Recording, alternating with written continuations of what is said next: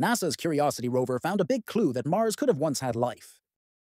While exploring the ancient layers of Mount Sharp in Gale Crater, Curiosity detected something truly exciting, large amounts of a mineral called siderite, an iron-rich carbonate. Why is this important? Because carbonates only form when carbon dioxide reacts with water and rock. That means Mars must have once had flowing water and a CO2-rich atmosphere, two critical ingredients for a habitable environment. Some of the rocks Curiosity analyzed contain up to 10% siderite by weight. That's huge. It tells scientists that billions of years ago, Mars likely had a more Earth-like climate. But as the atmosphere thinned, that CO2 may have been locked into the crust, triggering the planet's dramatic shift into the cold, dry desert we see today.